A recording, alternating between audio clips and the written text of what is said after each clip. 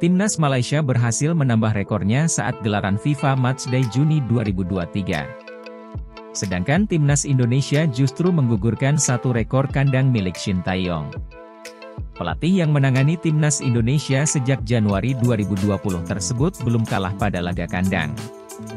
Namun di tangan juara dunia 2022, Argentina rekor tersebut berhasil digugurkan.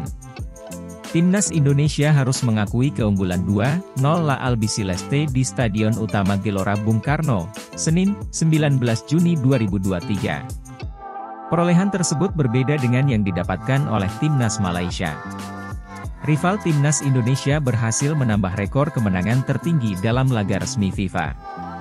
Malaysia berhasil menang 10-0 atas Papua Nugini pada pertandingan kedua FIFA Matchday Juni 2023, Selasa, 20 Juni 2023. Harimau Malaya yang sempat seret gol di babak pertama, berhasil melesatkan 9 gol tambahan pada babak kedua. Dilansir My Metro, Timnas Malaysia berhasil mencatat tiga kali rekor margin gol tertinggi. Sebelumnya Timnas Malaysia pernah meraih dua kemenangan besar lainnya.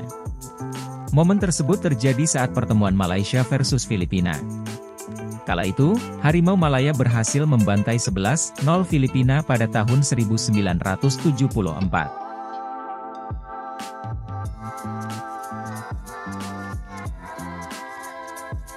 Terima kasih sudah nonton. Jangan lupa like, subscribe, dan share ya.